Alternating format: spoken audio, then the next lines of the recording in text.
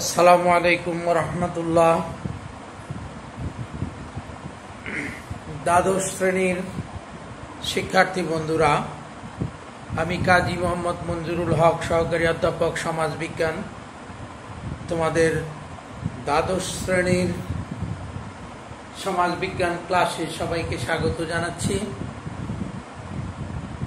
আজকে তোমাদের জন্য যে ক্লাসটি আমি গ্রহণ করব, সেটি হলো তোমাদের দ্বিতীয় পত্রের অষ্টম অধ্যায়, বাংলাদেশের সামাজিক পরিবর্তন বা সোশ্যাল চেঞ্জ অফ বাংলাদেশ। তো পাঠের শুরুতে আমি তোমাদেরকে আমার ক্লাসে এবং দ্বাদশ শ্রেণীতে স্বাগত জানাচ্ছি। কারণ একাদশ শ্রেণির যে বার্ষিক পরীক্ষা আমরা বিশেষ ব্যবস্থাপনায় গ্রহণ করেছি তোমরা সবাই, বিশেষ করে আমাদের কলেজের সকল ছাত্রছাত্রী, এই পরীক্ষায় বিশেষ ব্যবস্থাপনায় অংশগ্রহণ করেছ, এটি অত্যন্ত নতুন।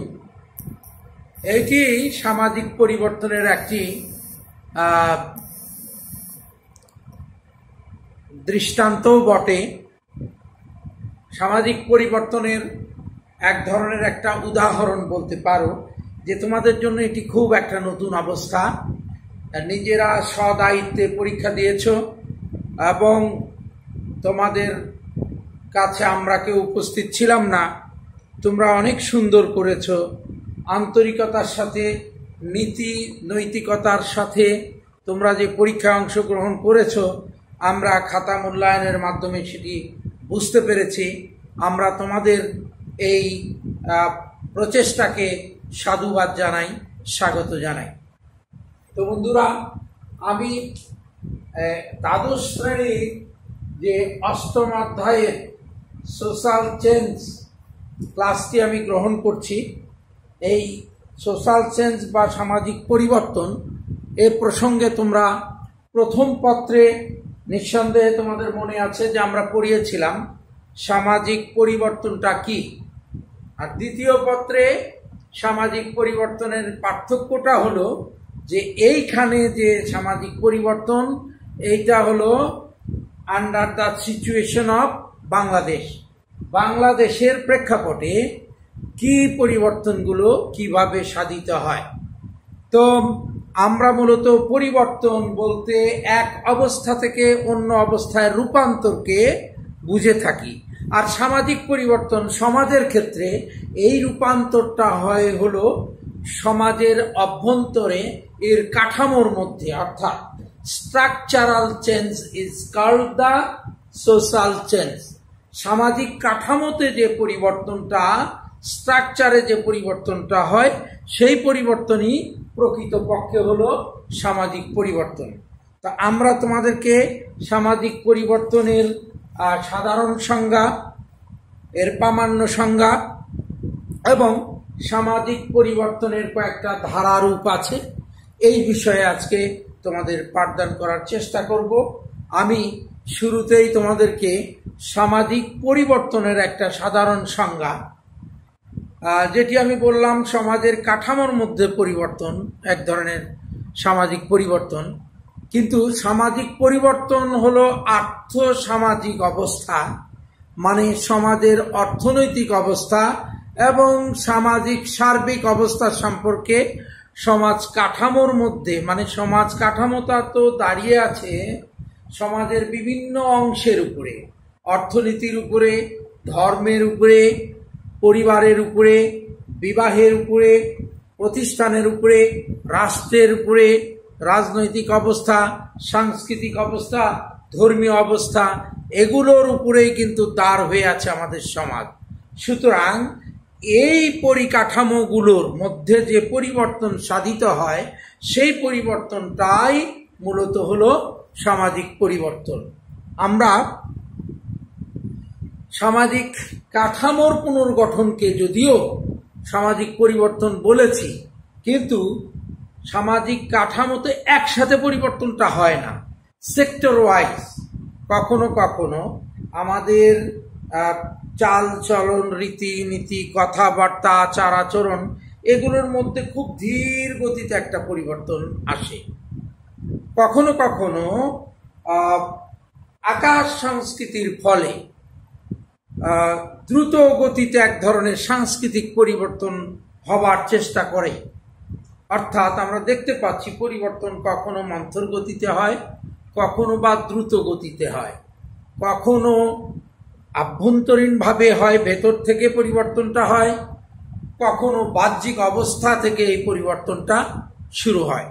তাহলে আমরা এর সাধারণ ধারণা পেলাম যে সামাজিক পরিবর্তন হচ্ছে সমাজের এক স্তর থেকে অন্য স্তরে উত্তীর্ণ হবার একটা প্রসেস প্রক্রিয়া।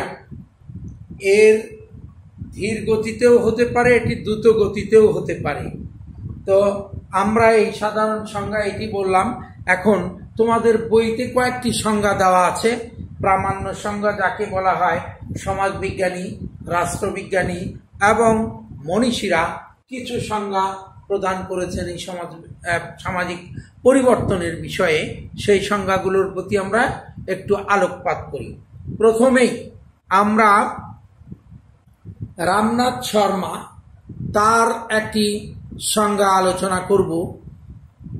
উনি যে বইতে সংজ্ঞাটা দিয়েছেন প্রিন্সিপাল অফ সোশিওলজি সোশিওলজি মূলনীতি। এই গ্রন্থে উনি বলেন, সামাজিক পরিবর্তন হল সামাজিক প্রক্রিয়া সমূহের বিভিন্ন দিকের পরিবর্তন। সামাজিক প্রক্রিয়া সমূহের বিভিন্ন দিকের পরিবর্তনকে সামাজিক পরিবর্তন বলেছেন। দুই নম্বর, সামাজিক পরিবর্তনের সংজ্ঞায় ম্যাকাইভার অ্যান্ড পেজ তোমরা নাম শুনেছ, অনেকবার আমি আলোচনায় এনেছি। ম্যাকাইভার অ্যান্ড পেজ তাদের সোসাইটি নামক গ্রন্থে সমাজ বিজ্ঞান সামাজিক পরিবর্তনের সংজ্ঞা দিতে গিয়ে বলেছেন, সামাজিক সম্পর্কের পরিবর্তন। উনি যেহেতু বলেছেন সামাজিক সম্পর্কের বিষয় হলো সমাজবিজ্ঞান, সুতরাং সামাজিক সম্পর্কের পরিবর্তনটাই হলো সামাজিক পরিবর্তন।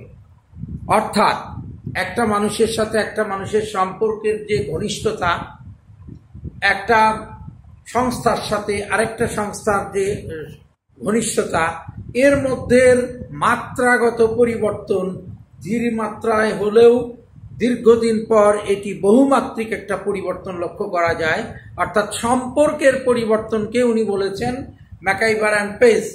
MacIver and Page তাদের সোসাইটি নামক গ্রন্থে এই যে মানুষের মধ্যেকার সম্পর্কের পরিবর্তনকে উনি বলেছেন সামাজিক পরিবর্তন। যেহেতু সম্পর্কের জালটাকেই সমাজ বলা হয়। সুতরাং সমাজের পরিবর্তনটা হবে সম্পর্কের পরিবর্তন। তিন নম্বর কিনসলে ডেভিস নামক একজন সমাজবিজ্ঞানী, উনি এই সমাজ পরিবর্তনের সংজ্ঞা দিয়েছেন। সামাজিক পরিবর্তন হলো সামাজিক সংগঠনের পরিবর্তন। অর্থাৎ সমাজ, সমাজের যে অনেকগুলো সংগঠন নিয়ে একসাথে সমাজ গঠিত, এই সংগঠনগুলোর মধ্যে কোনো পরিবর্তন সাধিতে হলে সেটিকেই সামাজিক পরিবর্তন বলে অভিহিত করা হবে। চার নম্বর, সমাজতত্ত্ববিদ পি জিন্সবার্গ। প্রফেসর জিন্সবার্গ, সামাজিক পরিবর্তন বলতে সমাজ কাঠামোর পরিবর্তনকে উনি বলেছেন হলো সামাজিক পরিবর্তন অর্থাৎ সামাজিক, আমি যেটি structural change of society is call the social change এরপর সমাজতাত্ত্বিক স্যামুয়েল কনিক, উনি সোশ্যোলজি নামক গ্রন্থে সমাজ পরিবর্তনকে বলেছেন, মানুষের জীবন যাত্রার ধরনের রূপান্তর, অর্থাৎ ওয়ে অফ লাইফ লাইফস্টাইল যে চেঞ্জ হয়, সেই চেঞ্জটাকে উনি বলেছেন হলো সামাজিক পরিবর্তন। যাটি হলো মানুষের সমাজ জীবন চলার পদ্ধতি, পরিকল্পনা, দৈনন্দিন কার্যকলাপ ইত্যাদির মধ্যে যে পরিবর্তন সংগঠিত হয়, উনি এই পরিবর্তন, জীবনযাত্রার ধরনের পরিবর্তনকে বলেছেন হলো সামাজিক রূপান্তর বা সামাজিক পরিবর্তন। এরপর সমাজবিজ্ঞানী রবার্টসন তার সোশ্যোলজি গ্রন্থে উনি একটা সংজ্ঞা দিয়েছেন, তোমাদের বইতে আছে সংজ্ঞাটা social change is the alternation in patterns of social structure social institution and social behaviour over time. সময়ের পরিবর্তনের সাথে সাথে একটা বিকল্পভাবে যে পরিবর্তন প্যাটার্নসের মধ্যে এবং সমাজের স্ট্রাকচারের মধ্যে যে পরিবর্তন হয় ইনস্টিটিউশনগুলোর মধ্যে যে পরিবর্তন হয়, সামাজিক আচরণের মধ্যে যে পরিবর্তনটা হয়, সেই পরিবর্তন সময়ের ব্যবধানে যে মাত্রায় হয়, এটিকে উনি বলেছেন হলো সামাজিক পরিবর্তন। ওভারঅল আমরা যে আলোচনায় শেষে এসে বলতে পারি যে সামাজিক পরিবর্তন হলো সমাজ কাঠামোর প্রচলিত রূপের রূপান্তরিত অন্য আরেকটি রূপ, রূপের প্রকাশ। অর্থাৎ আমার জীবনযাত্রা, চলন ফেরন, সামাজিক গাঁথুনি, সম্পর্কের জাল সমাজের বিভিন্ন উপাদানের যে তাদের ক্যারেক্টারিস্টিক্স বা চরিত্র, বৈচিত্র্য, এগুলোর মধ্যে দিন সময়, ক্ষণ পরিবর্তনের কারণে যে পরিবর্তন সাধিত হয়, সেটিকে বলা হয় সামাজিক পরিবর্তন। আমি আগেই বলেছি সামাজিক পরিবর্তনটা কখনো ধীর গতিতে হয়, কখনো কখনো দ্রুত গতিতে এটি সম্পন্ন হতে পারে। এইটি সমাজের চরিত্রের উপর নির্ভর করে এবং সেই সময়ের কারণে এর পরিবর্তনটা কখনো ধীরে হয়, কখনো দ্রুত গতিতে হয়। সামাজিক পরিবর্তনের এখন বিভিন্ন ধারা বা রূপ সম্পর্কে আমি তোমাদেরকে আলোকপাত করার চেষ্টা করব। একটা হলো ইউনিলাইনার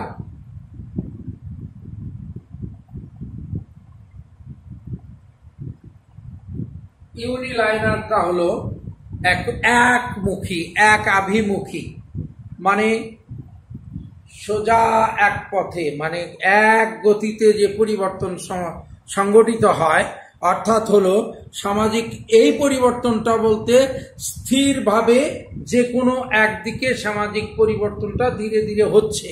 এই অবস্থানটাকে বলা হয় একাভিমুখী।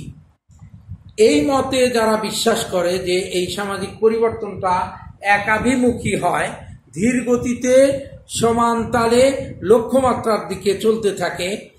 সমাজকে কেন্দ্র করে সংগঠিত পরিবর্তনকে একটা আকস্মিক ঘটনা বলা হয়ে থাকে। এই ধরনের তাদের মত অনুসারে সমাজকে কেন্দ্র করে সংগঠিত পরিবর্তনকে আকস্মিকভাবে এইটি একটা ঘটনা হিসেবে ধরে নেওয়া হয়ে থাকে।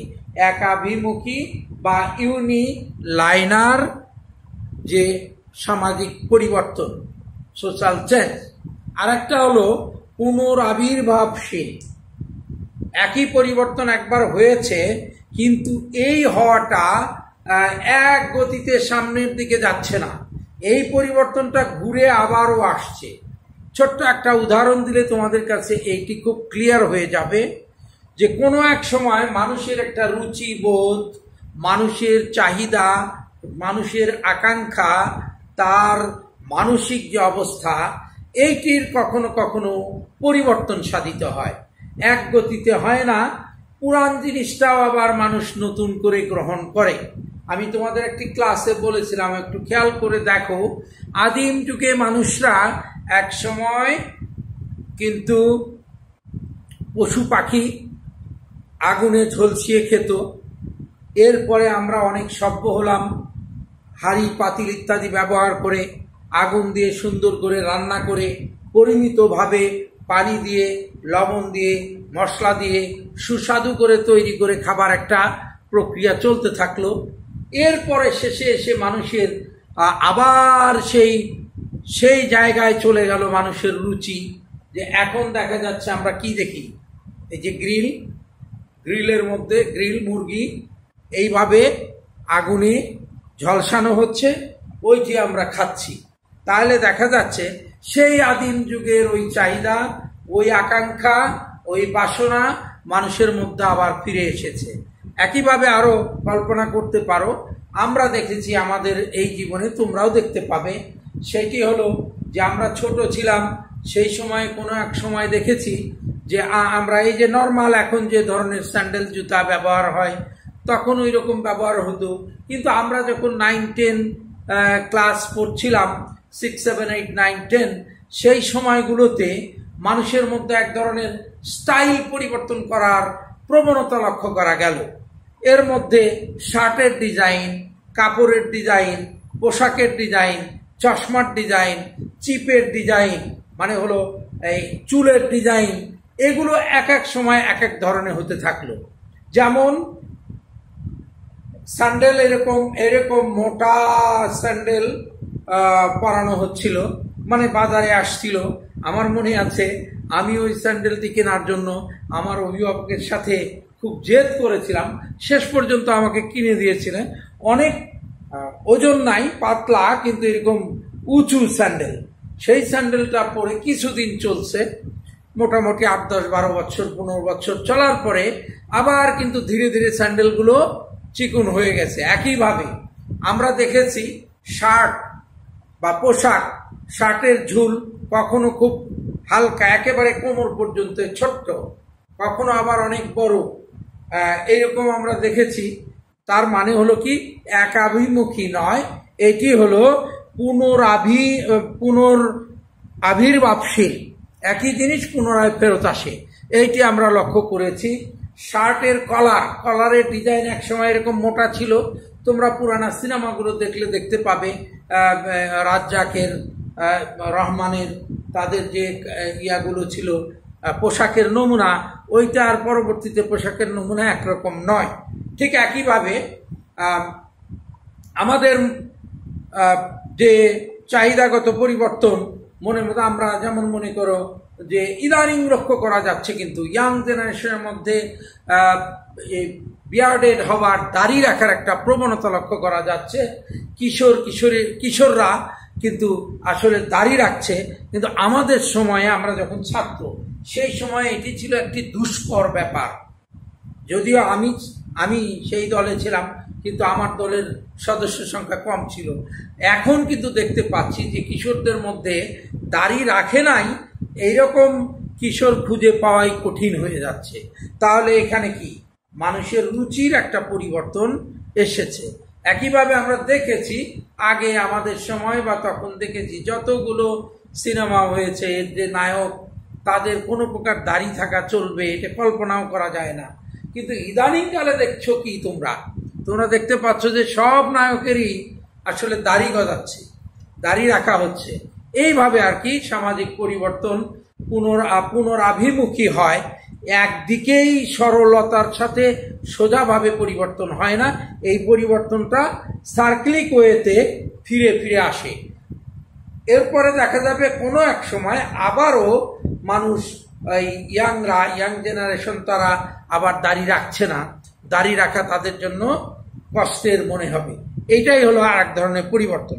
আর একটা হলো বিবর্তনমূলক একটা পরিবর্তন আছে ইভলিউশনারি সেটা হলো একটা ধারাবাহিকতা এটাতে লক্ষ্য করা যায় যে সামাজিক বিবর্তন বলতে আমরা মূলত এই ধারাবাহিকভাবে পরিবর্তন যা বাহ্যিক অবস্থা থেকে কোনো প্রভাব ছাড়াই আলটিমেটলি ভেতরে ভেতরে যে পরিবর্তনটা সংগঠিত হয়। যেমন ধীরে ধীরে নদীর গতিপথ পরিবর্তন হয় নদীতে প্রলেপ পরে কি বলে, পলি মাটি পরে নদী ভরাট হয়ে যায়। এক সময়ের গভীরতম নদী, কোনো এক সময় যে কি হয়ে যায়? সমতল ভূমি হয়ে যায়।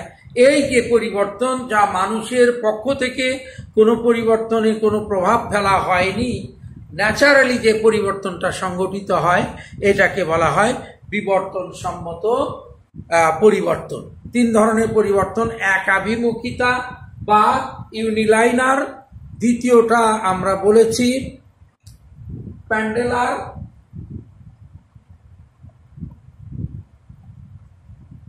এবং তৃতীয়টা ইভলিউশনারি অর্থাৎ হলো যে বিবর্তনবাদী। এই তিন ধরনের পরিবর্তন, পরিবর্তনের তিনটা রূপ আমরা আলোচনা করলাম। এরপর সামাজিক পরিবর্তনের যে ধরনগুলো আছে, এই ধরনগুলো সম্পর্কে কেন সামাজিক পরিবর্তন আমাদের সমাজে, বিশেষ করে বাংলাদেশের সমাজের কথা যেহেতু আলোচনা করা হচ্ছে, এখানে আমি আজকে আর দুটা বিষয়ে আলোচনা করব যে পরিবর্তনটা বিশেষভাবে লক্ষণীয় আমাদের সমাজের মধ্যে, কি কি পরিবর্তন প্র্যাকটিক্যালি সেইটি আমাদের পরিবার, এই পরিবারের মধ্যে কি কি পরিবর্তন হয় এবং বিয়ের ক্ষেত্রে কি কি পরিবর্তন হয়, আমরা এইটা সংক্ষিপ্ত আলোচনা করে আজকে ক্লাসটা শেষ করব।